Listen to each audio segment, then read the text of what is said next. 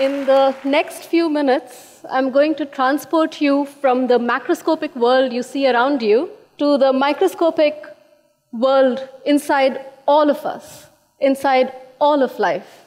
I'm going to introduce you to new frontiers of DNA research and share with you the pure joys and the pleasures and the impact of fundamental scientific discovery.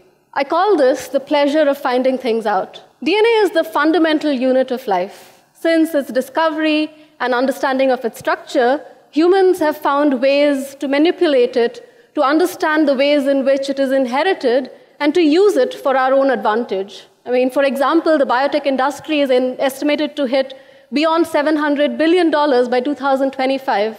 All of this stemming from very basic research into understanding the structure of DNA, cloning, and recombinant DNA technology.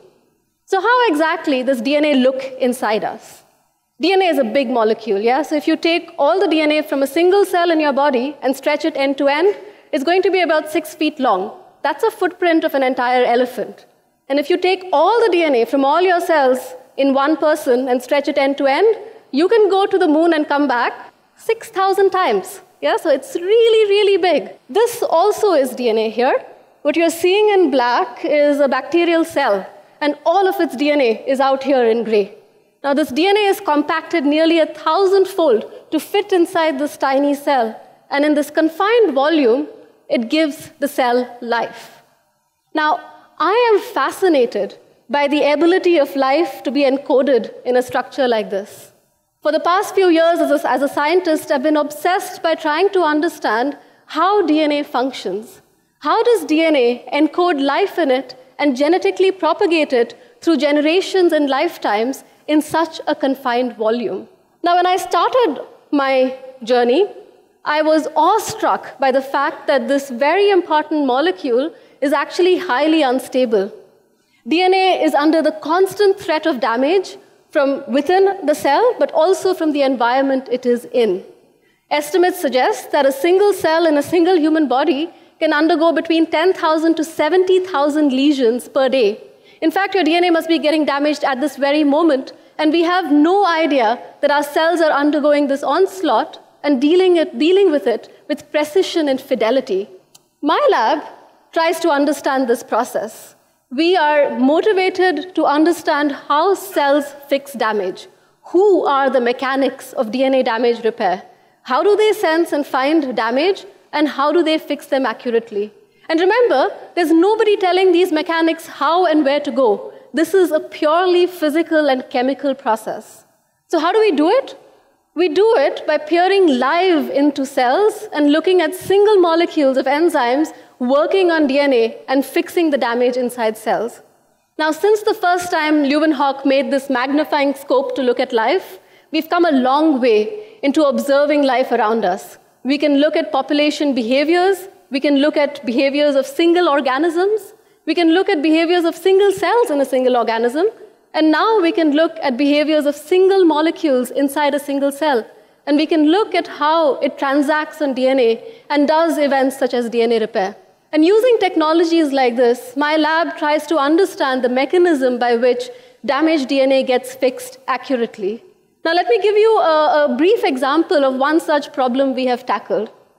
Let's imagine that this circle here is a molecule of DNA, and there's another copy of it sitting here. Now, one of these gets damaged. I've shown that there as a red star, and the only way to fix that red star damage is to copy up the damaged region from this green part here.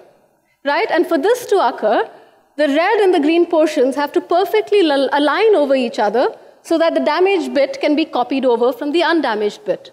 Pretty straightforward, right? Well, not exactly. For a cell, that's like trying to find your partner in a crowded you know, music festival or a big conference like this. And we know very little about this process. This red star has to go find its partner all the way there repair, and then come back again. We know this occurs in the cell, we know it occurs constantly, and only when it goes wrong do we realize we had a problem, because when this type of damage is not fixed, you get cancer. So, for the first time, using microscopy, we were able to see how this process occurs in a living cell. So, I'm going to give you an example here. You're seeing this black cell here. Um, the red dot shows you where the damage is, and the green dot shows you where the repair is going to occur.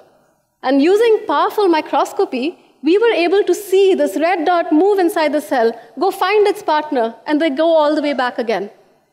What is the scale of this process? It's one micrometer. You're seeing something occur within one micrometer and within tens of seconds. This is a very fast and very dynamic process. And only using powerful tools like microscopy were we able to first see the process and then understand the mechanism by which such a process can occur in the cell. And using technologies like this, now, my lab is asking three very important and exciting questions in the field of DNA repair. How do cells know there is damage? How do they send the right mechanic to fix the damage?